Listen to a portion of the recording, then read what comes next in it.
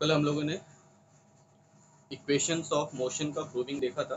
Equation of motion को prove करने के दो मेथड थे एनालिटिकल मेथड और ग्राफिकल मेथड दोनों मेथड कल हम लोगों ने पढ़ लिया था।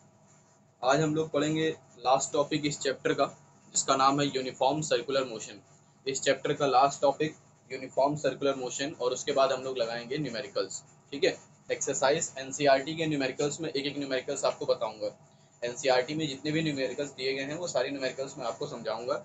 और उसके बाद जितने भी न्यूमेरिकल्स आपकी ऑप्शनल बुक में हैं, जैसे जीआरबी है किसी के पास, किसी के पास एस चाँद है तो अलग अलग पब्लिकेशंस की बुक हैं, उसको आप लगाइए, उसके न्यूमेरिकल्स आप लगाएँगे। अगर आपको नहीं आते हैं, कोई न्यूमेरिकल नहीं आता या समझ में नहीं आता तो फिर आप मुझसे पूछ सकते हैं। ठीक है? फ़िलहाल अभी हम यूज़ स्टार्ट कर रहे हैं। यूनिफॉर्म सर्कुलर मोशन इस चैप्टर का last topic uniform circular motion तो बेटा इसमें सबसे पहले आपको समझ में क्या आ रहा है कि दो चीज़ें हैं यूनिफॉर्म है और सर्कुलर है। मोशन कैसा होगा? सर्कुलर मोशन होगा। लेकिन कैसा सर्कुलर होगा? यूनिफॉर्म सर्कुलर मोशन होगा। मतलब एक ऑब्जेक्ट जो होगा वो किसमें चलेगा? वो एक सर्कुलर पाथ में चलेगा। एक ऑब्जेक्ट जो होगा वो कहाँ चलेगा? एक सर्कुलर पाथ पर वेरी करेगा। अगर आप एक सर्कल कोई ग्राउंड है सर्कुलर ग्राउंड है, उसके चारों तरफ़ अगर आप दौड़ रहे हो तो आप कैसा मोशन कर रहे हो? सर्कुलर मोशन कर रहे हो। सर्कुलर मोशन कर रहे हो। सर्कुलर मोशन अगर इक्वल टाइम में हो रहा है मतलब आप यहाँ से चलना स्टार्ट करते हैं, इस पॉइंट से चलना स्टार्ट करते हैं पॉइंट पी मान लेते हैं पॉइंट पी से चलना स्टार्ट करते हैं, और वापस एक चक्कर जितने टाइम में लगाते हैं बार बार वही उतने ही टाइम में एक चक्कर कंप्लीट होता है। मतलब अगर आप एक राउंड एक राउंड अगर मान लीजिए आप तीस मिनट में लगाते हैं। तो आपके जितने भी राउंड आप कैलकुलेट करोगे, जितने भी राउंड लोगे, मान लो चालीस, पचास, जितने भी राउंड आप लगाओगे, हर एक राउंड तीस मिनट में ही कंप्लीट हो रहा है। तो ऐसे मोशन को कहा जाता है यूनिफॉर्म सर्कुलर मोशन बात समझ में आई बेटा? हम जानते हैं कि हमारी अर्थ जो है, वो सन के अराउंड रिवोल्यूट करती है। हमारी अर्थ सन के चारों तरफ़ घूमती है। हर साल साल में कितने दिन होते हैं बेटा? तीन सौ पैंसठ दिन होते हैं और हम जानते हैं कि अर्थ हमारी तीन सौ पैंसठ दिन में सन का एक चक्कर कंप्लीट करती है। क्या किसी साल ऐसा होता है कि एक चक्कर लगाने में तीन दिन या तीन सौ अस्सी दिन लग जाए किसी को? होता है क्या? नहीं। तीन नहीं होते। नहीं होता नहीं होता। रियलिटी में हर एक साल, हर एक साल ये हाँ और सिक्स आवर्स होते हैं ना 365 डेज़ एंड सिक्स आवर्स वो चार एक दिन बना देते हैं हम लोग। लेकिन होता क्या है कि जो कैलकुलेशन है, जो रेवोल्यूशन टाइम है, वो तो फिक्स है ना। रेवोल्यूशन टाइम क्या है बेटा? फिक्स है। ठीक है ना? रेवोल्यूशन टाइम क्या है? फिक्स है। तो इस तरह के मोशन को क्या कहा जाता है? इस तरीके के मोशन को कहा जाता है यूनिफॉर्म सर्कुलर मोशन ऐसे मोशन को यूनिफॉर्म सर्कुलर मोशन कहा जाता है। जब आप फ़ैन ऑन करते हो, अगर फ़ैन की एक ब्लेड पर फ़ैन की एक ब्लेड पर अगर आप एक बैलून बाँध दो, एक बलून बाँध दो, अगर आप रस्सी से बाँध करके एक बलून बाँध दो तो जो बलून का मोशन होगा वो कैसा होगा? यूनिफॉर्म सर्कुलर मोशन होगा, क्योंकि फ़ैन इक्वल स्पीड से चल रहा है यूनिफॉर्म सर्कुलर मोशन होगा। बात समझ में आई बेटा? यूनिफॉर्म सर्कुलर मोशन क्या होता है, समझ में आ गया? नोट्स में आपको इसकी डेफिनेशन मिल जाएगी, ठीक है? तो टॉपिक यहाँ से खत्म होता है चैप्टर कंप्लीट होता है। अब हम पढ़ेंगे एनसीईआरटी न्यूमेरिकल्स एनसीईआरटी के न्यूमेरिकल्स पढ़ेंगे। एनसीईआरटी के न्यूमेरिकल्स पढ़ेंगे। न्यूमेरिकल्स कह सकते हो या फिर आप कह सकते हो एनसीईआरटी की जो एक्सरसाइज दी हुई है, सभी के पास एनसीईआरटी बुक्स होंगी। जिसके पास है एनसीईआरटी बुक वो एनसीईआरटी बुक ओपन कर ले। मैं क्वेश्चंस को एक्सप्लेन करना स्टार्ट करूँगा। क्वेश्चन नंबर फ़र्स्ट से स्टार्ट करेंगे। क्वेश्चन नंबर फ़र्स्ट एनसीईआरटी आप लोग बुक ओपन कर लीजिए क्वेश्चन आप लोगों को सामने दिखता जाएगा। ठीक है? तो चलिए स्टार्ट करते हैं पहला question an athlete completes one round of a circular track of diameter 200 metre in 40 seconds एक एथलीट है, एक धावक है, वो एक सर्कुलर ट्रैक में सर्कुलर ट्रैक में दौड़ रहा है, जिस सर्कुलर ट्रैक की डायमीटर कितनी है? 200 मीटर है। 200 मीटर एक सर्कुलर ट्रैक की डायमेंशन है डायमीटर है 200 मीटर और उसमें वो कंप्लीट करता है, एक राउंड कंप्लीट करने में उसे टाइम लगता है फोर्टी सेकेंड्स का। एक राउंड कंप्लीट करने में फोर्टी सेकेंड का टाइम लगता है। आपसे पूछा जा रहा है what will be the distance covered and the displacement at the end of two minute twenty seconds तो टू मिनट ट्वेंटी सेकेंड्स के बाद टू मिनट ट्वेंटी सेकेंड्स के बाद, उस आदमी या उस एथलीट की डिस्प्लेसमेंट और डिस्टेंस कितनी होगी, ये आपको बताना है। उस एथलीट की डिस्टेंस या डिस्प्लेसमेंट कितनी होगी after two minute twenty seconds we have to calculate the distance and displacement तो सबसे पहले बेटा let us take an circular track of diameter 200 metre तो लेट कर लेते हैं कि एक सर्कुलर ट्रैक है, जिसका डायमीटर कितना है बेटा? डायमीटर कितना है? 200 मीटर है। डायमीटर कितना है? 200 मीटर। भाई, डायमीटर 200 मीटर है तो रेडियस कितनी होगी? अगर डायमीटर डायमीटर 200 मीटर है तो रेडियस कितनी होगी बेटा? रेडियस होगी हमारी 100 मीटर। रेडियस कितनी होगी? 100 metre. According to question he completes one round he completes one round in 40 seconds 40 second में वो एक राउंड कंप्लीट कर लेता है। मान लीजिए अगर वो एथलीट यहाँ से चलना स्टार्ट किया था, अगर वो एथलीट यहाँ से चलना स्टार्ट किया था तो वापस इसी पॉइंट पर कितने टाइम बाद आएगा? वापस इसी पॉइंट पर कितने टाइम बाद आएगा? After forty seconds forty seconds के बाद वो यहीं पर मिलेगा। बात समझ रहे हो? वन कंप्लीट राउंड का मतलब होता है कि आप जहाँ से स्टार्ट किए थे सर्कुलर पॉइंट में आप वहीं पर आ जाओ और उसे कहा जाता है वन राउंड तो एक राउंड बेटा यहाँ से कितना टाइम लग रहा है? फोर्टी सेकेंड्स लग रहा है। और हमारे पास टाइम कितना है? हमारे पास टाइम है टू मिनट ट्वेंटी सेकेंड अगर इसको हम टोटल सेकेंड्स में कंप्लीट करें सेकेंड्स में कन्वर्ट करें तो two minute means two into sixty plus twenty it becomes one hundred forty second कितने बेटे हैं कितने आएँगे बेटा? वन हंड्रेड फोर्टी सेकेंड्स आएगा। बात समझ रहे हो? तो एक आदमी 40 सेकंड में एक एथलीट 40 सेकंड में एक राउंड कंप्लीट करता है तो 140 सेकंड्स में कितने राउंड कंप्लीट करेगा? 140 सेकंड्स में कितने राउंड कंप्लीट करेगा? देखो 40 सेकंड्स में वन राउंड है तो 120 सेकंड्स में। हाँ three and half three and half good three and मतलब अगर वो पॉइंट ए से चलना स्टार्ट किया था तो after two minute twenty seconds two minute twenty seconds के बाद वो यहाँ पर होगा। वो आदमी यहाँ पर पॉइंट बी पर होगा। भाई, एक राउंड कंप्लीट हुआ फोर्टी सेकेंड दूसरा राउंड एट्टी सेकेंड तीसरा राउंड वन ट्वेंटी सेकेंड और उसके बाद वन ट्वेंटी के बाद वो ट्वेंटी सेकेंड जहाँ पर पहुंचेगा। बीच में, बात समझ रहे हो? बोलो। तो डिस्टेंस डिस्टेंस कितनी होगी? डिस्टेंस कितनी होगी बेटा? डिस्टेंस कितनी होगी बताओ। डिस्टेंस कितनी होगी? कितना राउंड लिया है? कितना राउंड लिया? थ्री राउंड पहले तो थ्री राउंड की बात करते हैं। थ्री राउंड पहले थ्री थ्री राउंड देख लेते हैं। थ्री एंड हाफ़ भी कर सकते हो। थ्री एंड हाफ़ भी कर सकते हो। थ्री एंड हाफ़ का मतलब क्या होता है बेटा? सेवन सेवन बाई टू होता है ना? बोलो। थ्री एंड हाफ़ का मतलब क्या? सेवन अपॉन टू ना? ऐसे लिख सकते हो? ऐसे लिख सकते हो ना? Three is two one by two और एक राउंड कंप्लीट करने में कितना डिस्टेंस कवर करेगा? एक राउंड में कितना डिस्टेंस कवर होगा? नहीं बेटा। Two pi R.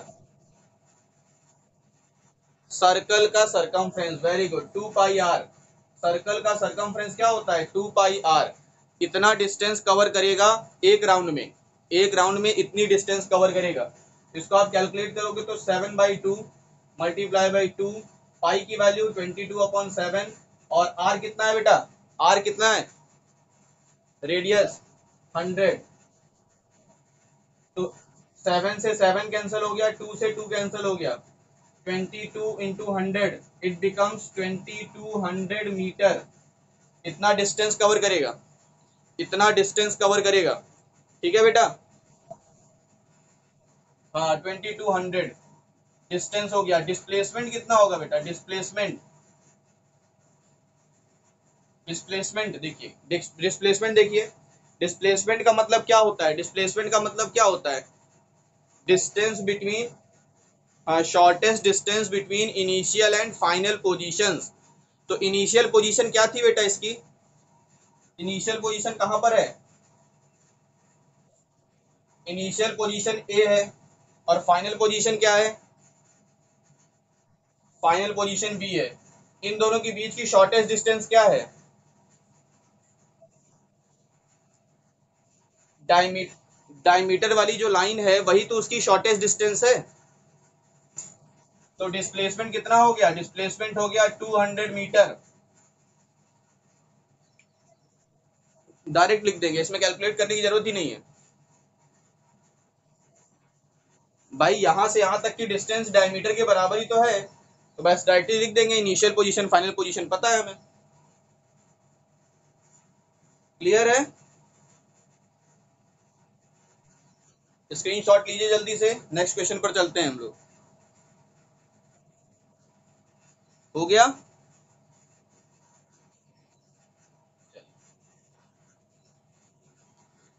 अगर कर सको तो कर सकते हो।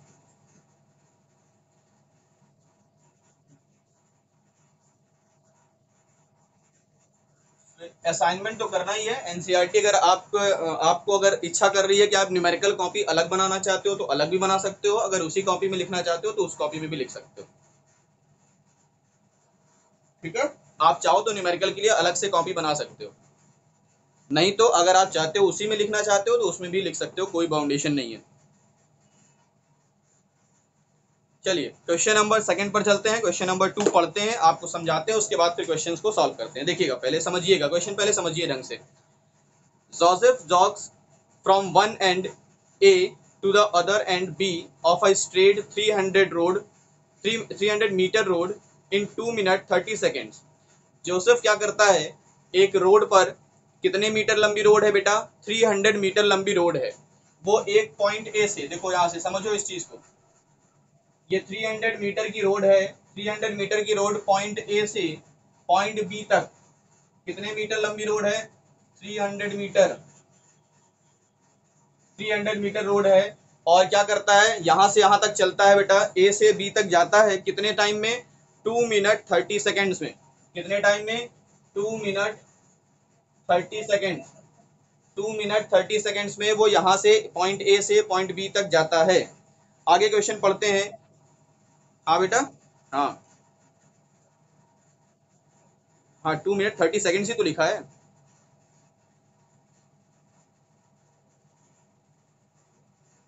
आगे। And then and then return and then turns around and then turns around and jogs hundred metre back to point C in another one minute और इसके बाद क्या करता है? पॉइंट बी से वापस आता है। पॉइंट बी से क्या करता है? रिटर्न कर लेता है बैक आता है। भाई, यहाँ तक गया पॉइंट ए से पॉइंट बी तक गया पॉइंट बी से फिर ये वापस आया। वापस आया कितनी दूरी पर? कितनी दूरी चला बेटा? इस बार कितना डिस्टेंस कवर करता है? वो हंड्रेड मीटर डिस्टेंस कवर करता है। बैक आ रहा है, कितने मीटर की डिस्टेंस कवर करता है? हंड्रेड मीटर की डिस्टेंस कवर कर रहा है। हंड्रेड मीटर की डिस्टेंस कवर करता है और पॉइंट सी पर आ जाता है। देखो, वहाँ पर लिखा हुआ है। पॉइंट सी पर लिखा हुआ है। है ना? देखो turn around and jogs hundred metre back to point C in another one minute अगले एक मिनट में, यानी यहाँ से बी से सी तक वापस आने में बी से सी तक वापस आने में उसे कितना टाइम लगता है? वन मिनट का टाइम लगता है। क्वेश्चन समझ रहे हो? वॉट आर अब आगे क्वेश्चन पूछ रहा है what are Joseph average speed and velocities average speeds बतानी है और एवरेज वेलोसिटी बतानी है। क्या बतानी है आपको? एवरेज स्पीड और average velocity in jogging from A to B and A to C. A से बी तक के लिए बतानी है और ए से सी तक के लिए बतानी है। यानी आपके पास दो कंडीशन है। दो कंडीशन है। आपको ए से बी तक के लिए एवरेज स्पीड, एवरेज वेलोसिटी निकालनी है। आपको ए से सी तक के लिए एवरेज स्पीड और एवरेज वेलोसिटी निकालनी है। बात समझ रहे हो? चलो। पहले हाँ गुड गुड पहले हम फाइंड करते हैं from A to B A to B ठीक है? ए से बी के लिए एवरेज स्पीड निकालते हैं. पहले डिस्टेंस निकाल लेते हैं डिस्प्लेसमेंट निकाल लेते हैं टाइम निकाल लेते हैं. ए से बी के लिए देखो. ए से बी के लिए. डिस्टेंस कितनी है बेटा? ए से बी के लिए. डिस्टेंस कितनी है? 300 मीटर डिस्प्लेसमेंट कितनी है? डिस्प्लेसमेंट भी 300 मीटर ही है। डिस्प्लेसमेंट भी 300 मीटर है। और टाइम क्या है बेटा? टाइम कितना है? टाइम है टू मिनट थर्टी सेकेंड इसको टोटल सेकेंड्स में कन्वर्ट कर लो। इसको टोटल सेकेंड्स में कन्वर्ट करोगे तो two into sixty plus thirty it becomes one fifty seconds सही है? समझ में आ रहा है सबको? तो एवरेज स्पीड बताइए। एवरेज स्पीड मतलब total distance upon total time distance कितना है? 300 टाइम कितना है? 150 कैंसल करेंगे तो आ जाएगा two metre per second average velocity निकालेंगे। एवरेज वेलोसिटी 300 डिस्प्लेसमेंट है। टाइम है 150 टू मीटर पर सेकेंड ये भी टू मीटर पर सेकेंड ही आ गया। समझ में आ गया? ये तो आसान था। अब सेकंड वाले क्वेश्चन में देखो, दिमाग लगेगा सेकंड वाले में। फ़र्स्ट वाला तो आसान था। रफ करें। चलिए सेकंड वाला देखिए, जब ए से सी तक की बात हो रही है तब। ए टू सी ए टू सी के लिए डिस्टेंस बताइए।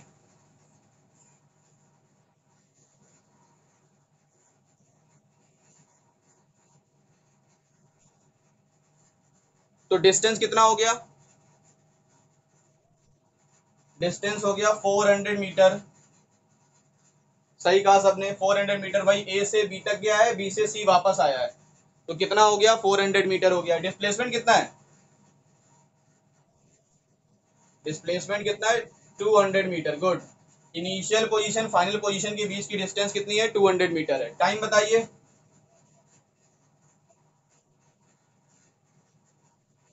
Three minute thirty second good good good three minute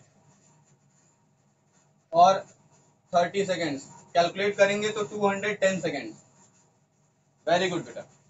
average speed बताइए। Average speed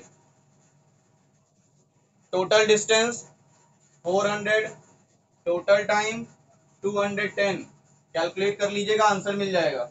Average velocity average velocity 200 upon 210 बात समझ में आ गई? किसी को कोई प्रॉब्लम सबको सबको समझ में आया ना बेटा? इजी है ना? कुछ कुछ।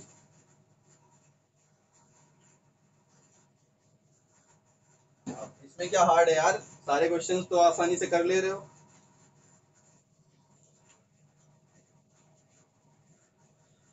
जितने ज़्यादा क्वेश्चंस लगाओगे न्यूमेरिकल जितना ज़्यादा लगाओगे कॉन्सेप्ट उतना ज़्यादा क्लियर होगा और उतने कंफ्यूजन कम होंगे।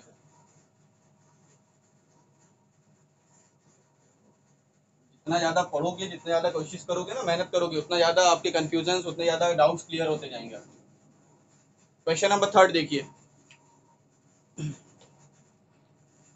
Abdul while driving to school Abdul नाम का एक व्यक्ति है, वो कहाँ जा रहा है? स्कूल जाता है ड्राइव करता है completes the average speed for his trip to be twenty kilometre per hour उसकी एवरेज स्पीड कितनी है? ट्वेंटी किलोमीटर पर आर है।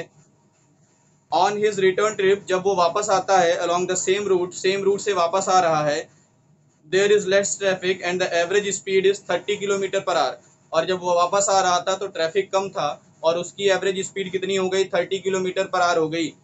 What is the average speed for Abdul trip Abdul के ट्रिप की टोटल एवरेज स्पीड बताइए. Total average speed बताइए, ये आपसे पूछा जा रहा है. तो देखो, इसको थोड़ा सा हम डीपली में सॉल्व करते हैं, फिर आपको एक ट्रिक बताएँगे इसको सॉल्व करने की. ठीक है? देखो, मान लो ये अब्दुल का घर है हाउस हो गया, और ये अब्दुल का स्कूल है। ठीक है? ये स्कूल है। वो जा रहा था हाउस से स्कूल गया, और स्कूल से घर आया सेम डिस्टेंस देखो सेम रूट से आया है। देखो, ध्यान रखना क्वेश्चन में रखा, लिखा गया है सेम रूट से मतलब सेम रास्ते से। सेम रास्ते से जाने का मतलब ये है कि जितनी डिस्टेंस जाने में कवर हुई थी, उतनी ही डिस्टेंस आने में भी कवर होगी। बात समझ रहे हो? डिस्टेंस सेम होगी। मतलब हम डिस्टेंस को एक्स मान लें। हम डिस्टेंस को एक्स मान लेते हैं। हम मान लेते हैं कि डिस्टेंस कितनी है बेटा? एक्स है। और एवरेज स्पीड कितनी है? जाते टाइम जाते टाइम एवरेज स्पीड दिखा रहा है क्वेश्चन में दे रहा है एवरेज स्पीड कितना है? ट्वेंटी एवरेज स्पीड का फॉर्मूला होता है total distance upon total time तो जाने में डिस्टेंस एक्स लगा। जाने में डिस्टेंस एक्स और मान लेते हैं कि टाइम टी वन लगा होगा। जाने में टाइम टी वन लगा होगा तो twenty equals to x upon T one समझ में आया कहाँ से आ गया? एवरेज स्पीड का फॉर्मूला लगाया total distance upon total time तो यहाँ से हम टाइम निकाल सकते हैं क्या बेटा? टाइम कितना आएगा? एक्स अपॉन ट्वेंटी बोलिए। टाइम कितना आएगा? एक्स अपॉन ट्वेंटी आएगा। जब वो वापस आ रहा था तो उसकी एवरेज स्पीड कितनी थी? थर्टी। थर्टी बेटा, थर्टी दे रखा है। हाँ थर्टी है। हाँ पुरानी बुक है ना तुम्हारी? हाँ पुरानी बुक में फोर्टी दिया हुआ है। हाँ नई बुक में थर्टी दिया रखा तो बेटा, यहाँ से क्या हो गया? ये हो गया स्पीड डिस्टेंस कितनी कवर करेगा? लौटते टाइम डिस्टेंस ट्रेवल एक्स ही करेगा, जितना जाते टाइम कवर किया था, उतना ही लौटते टाइम और टाइम मान लेते हैं कितना है? टी टू तो टी टू इक्वल टू क्या हो जाएगा बेटा? एक्स अपॉन थर्टी हो जाएगा। एक्स अपॉन थर्टी हो जाएगा। हमें क्या फाइंड करना है? हमें फाइंड करना है एवरेज स्पीड हमें फाइंड करना है एवरेज स्पीड एवरेज स्पीड का फॉर्मूला क्या होता है? Total distance upon total time total distance कितना होगा? टोटल डिस्टेंस कितना होगा? हाँ एक्स प्लस एक्स और total time T one plus T two total time कितना? T one plus T two तो यहाँ से लिखेंगे x प्लस एक्स को लिख सकते हैं two x divided by T one की वैल्यू कितनी है बेटा? X अपॉन ट्वेंटी और टी टू की value x upon thirty two x LCM कितना आएगा? इसको सॉल्व करने के लिए एलसीएम लेना पड़ेगा ना? इसको सॉल्व करने के लिए एलसीएम लेंगे सिक्सटी ट्वेंटी से डिवाइड करेंगे थ्री बचेगा. तो three x plus two x ठीक है बेटा? तो two x multiply by sixty divided by five x ये सबको समझ में आ रहा है? ये मैथमेटिक्स का बेसिक कैलकुलेशन कर रहा हूँ मैं। देखिए एक्स से एक्स कैंसिल हो जाएगा। एक्स से एक्स कैंसिल हो जाएगा। क्या बचेगा? Two into sixty upon five two into sixty upon five five से सिक्सटी को कैंसिल करेंगे twelve two into twelve it becomes twenty four कितना आ गया बेटा? Twenty four kilometre per twenty four बेटा थ्री प्लस टू कितना होता है?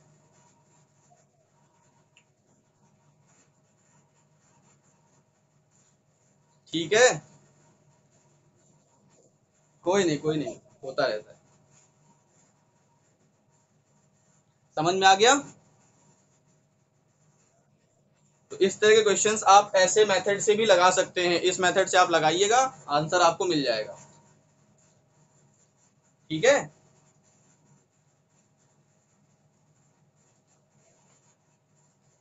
अगर यही क्वेश्चन यही क्वेश्चन हमें क्वेश्चन में ये दिया होता कि वो सेम डिस्टेंस से मतलब नहीं होता। वो टाइम इक्वल दे रखा होता। अगर टाइम इक्वल दे रखा होता दोनों कंडीशन पर यह कहता कि इतने ही टाइम में एवरेज स्पीड इतनी है और इतने ही टाइम में एवरेज स्पीड इतनी है।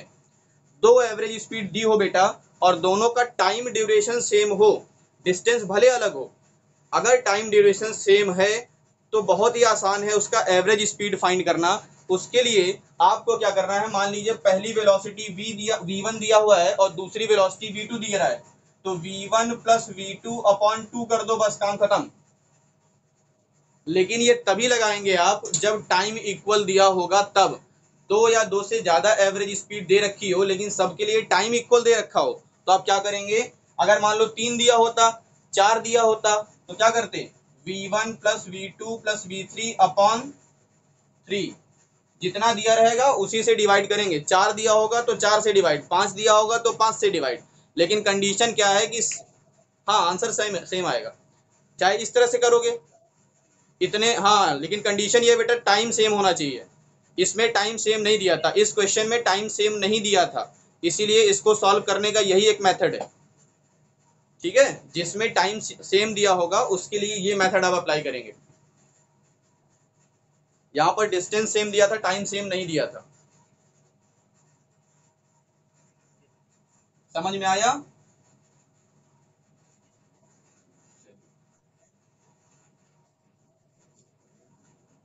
कौन सा? हाँ टाइम इक्वल होना चाहिए तब। उसको चाहो तो इस मेथड से भी सॉल्व कर सकते हो। तब भी आंसर सेम आएगा। डायरेक्टली लगाना चाहते हो तो डायरेक्टली भाई डायरेक्टली कब यूज़ होगा? जब आपको एमसीक्यू मिल जाए। अगर आपको एमसीक्यू दिया हुआ है टाइम इक्वल दे रखा है तो आप इतना लंबा कैलकुलेशन क्यों करोगे? है ना? डायरेक्टली बस आंसर चाहिए एमसीक्यू में तो बस आंसर चाहिए ना? सॉल्यूशन थोड़ी ना चाहिए।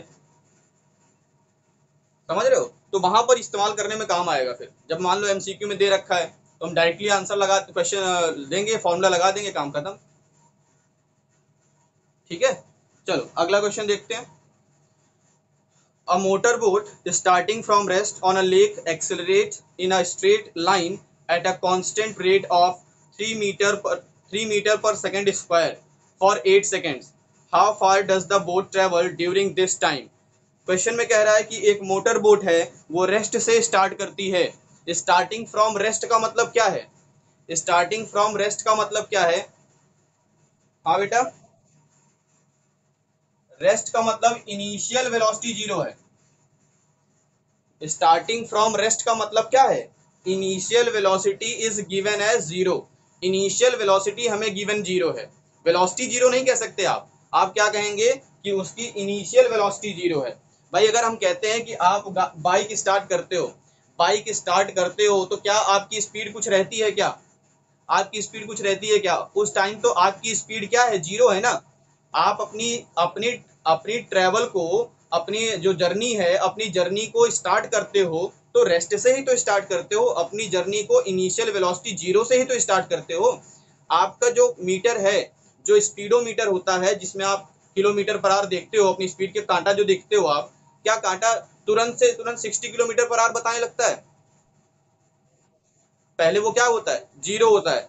ज़ीरो से फिर जैसे जैसे आप एक्सेलरेटर लेते रहते हो, जैसे जैसे आप एक्सेलरेटर लेते रहते हो, वैसे वैसे आपकी स्पीड क्या होती है? धीरे धीरे बढ़ती रहती है। आपकी स्पीड धीरे धीरे बढ़ती रहती है। तो ऐसी स्पीड क्या होती है? नॉन यूनिफॉर्म स्पीड होती है। ऐसी स्पीड को यूनिफॉर्म स्पीड नहीं कहते। भाई, वहाँ पर टोटल क्या डिस्टेंस इक्वल होगा? स्पीड तो चेंज हो रही है ना बार बार। समय के साथ स्पीड तो बढ़ रही है तो फिर वो यूनिफॉर्म स्पीड तो हो ही नहीं सकता यूनिफॉर्म मोशन तो हो ही नहीं सकता। हो सकता है क्या? नहीं हो सकता। लेकिन यूनिफॉर्म एक्सेलरेशन हो सकता है, जैसे इस क्वेश्चन में दे रखा है कि आपका एक्सेलरेशन कितना होना चाहिए? At a constant rate of three metre per second square acceleration दे रखा है आपको। एक्सेलरेशन कितना दे रखा है?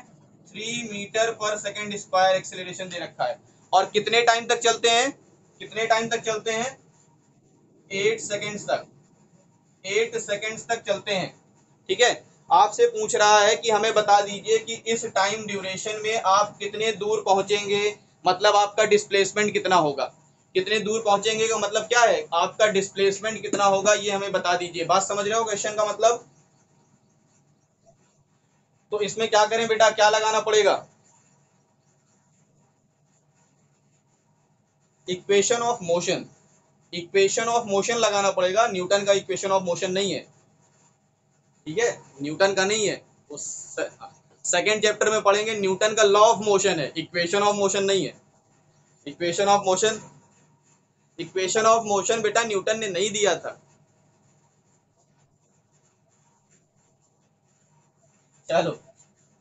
तो सेकेंड इक्वेशन हमारे पास क्या है? सेकेंड इक्वेशन है S is equal to U T plus half A T square ध्यान रखो बेटा, ये इक्वेशन ऑफ़ मोशन आप तभी यूज़ करोगे जब क्वेश्चन में एक्सेलरेशन दे रखा होगा। अगर एक्सेलरेशन नहीं दिया है तो आप सिंपल सा फॉर्मूला यूज़ करोगे speed equals to distance upon time distance upon time ये फॉर्मूला यूज़ करोगे कब?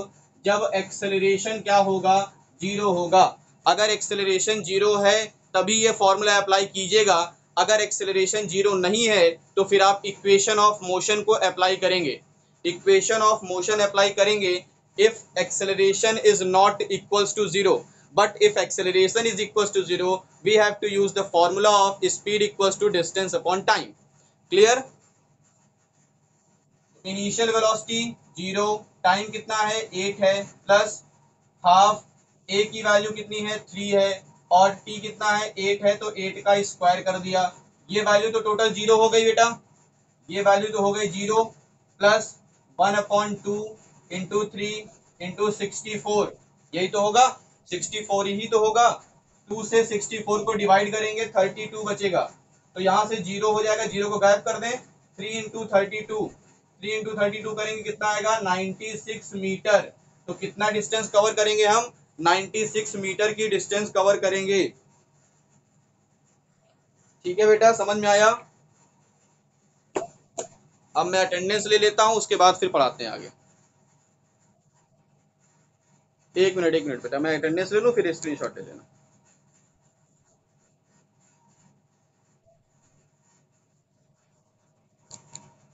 हाँ तो क्लास ओवर करते हैं, अगली मतलब नेक्स्ट क्लास में आपको समझाएँगे फिर आगे क्वेश्चन